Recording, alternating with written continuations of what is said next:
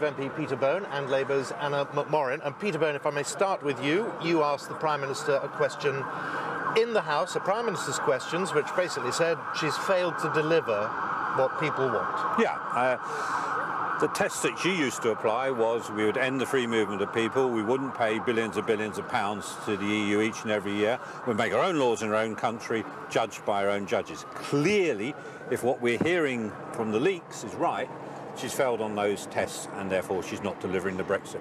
Do you trust the Cabinet, who are in there with her now, to respect what you say and to have that out with her this afternoon? Well, they'll, have a discussion, but the majority of the Cabinet are huge Remainers, so they'll undoubtedly support the, the Prime Minister.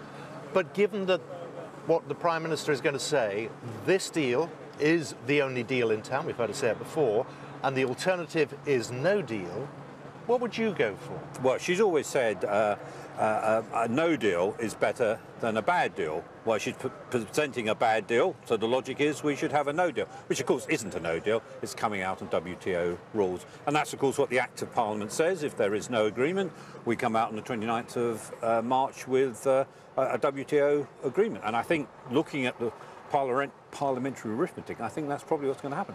Anna McMorrin, lots of questions about Labour's policy on all of this. Um, you want a people's vote. Do you think what we're seeing today makes that more or less likely now? Well, look, there quite clearly is not a majority in Parliament for whatever this fudge of a situation Theresa May is going to present uh, and get through. What we're hearing is correct. And it certainly wasn't and isn't what people voted for two years ago and is certainly going to make my constituents businesses is my up and down Wales and the whole of the UK poorer. The Prime, I mean, the Prime Minister made it clear in answer to Peter Bone this is what people voted for because we are leaving the EU. Well, it, it's not what people voted for. They didn't vote for a mess of this.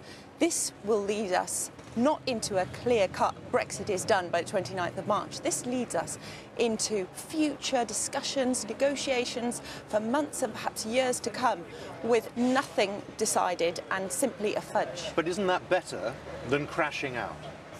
Well, this isn't a, a, choice, a binary choice between a bad deal well, or a no deal. would easily make it one, though, and that, that could easily be what happens when Parliament is faced with... If the Cabinet says yes, it goes to Parliament. Uh, it becomes a binary choice, doesn't it?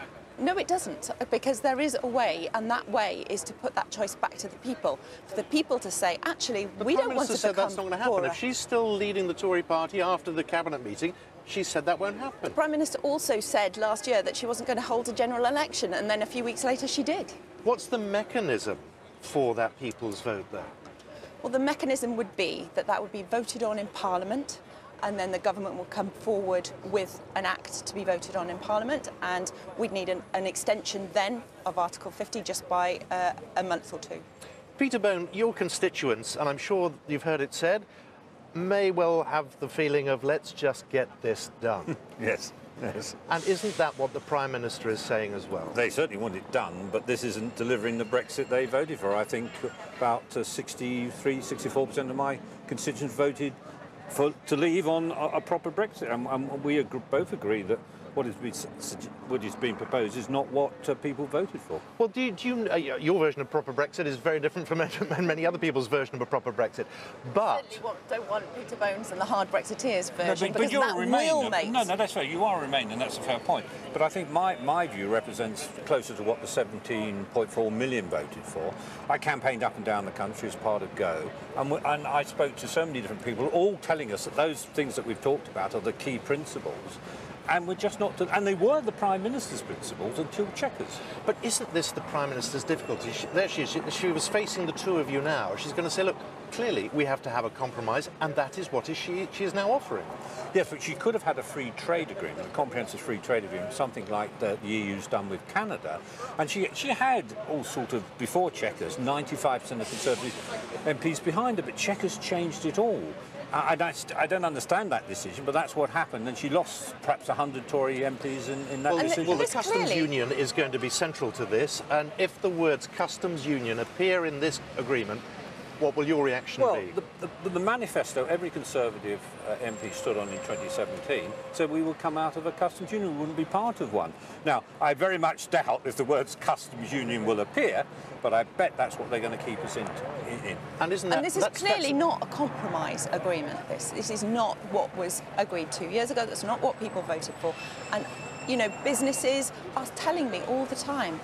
Public services will be poorer and will really struggle. People up and down the country will really struggle. That is not what we want. We need to be responsible and unite the country, not divide it, which is what she's doing. The country has never been more divided than it is now. You have your constituents who may well, as, as I was saying to Peter, may well be saying, look, let's just get through this hurdle, and once we have a Brexit, which was voted for, then we can keep negotiating. What's wrong with that? Well, that's the very problem is that, this is not what people voted for and it won't be getting it out the way on the 29th of March. It will just be prolonging the discussions, the debates, uh, but also the divisions up and down this country. That's not what we want at all. We need to bring the country together and make sure that we provide a future and look at that future relationship with the EU, with our partners, our closest neighbours and allies, and that needs to be with the, within the EU. And Within the EU. You see, that's the point. Well- we had a referendum for this divided country to decide. We decided to leave. You can't be half pregnant. You're either pregnant or not, and that's the problem. We have to come out. It will Your pre- side it will lost, prevent and you want another go at No, it. this If you is don't not- win, we tell you have a third I- I- referendum. I've just gone back two years. But anyway, Peter, Exactly, Anna, it's not about rerunning the- the last time. We've run out of time, but thank you both Thank very you. much. Thank you. Now, uh, let's see how the agreement's going down in the rest of the EU. Our Brussels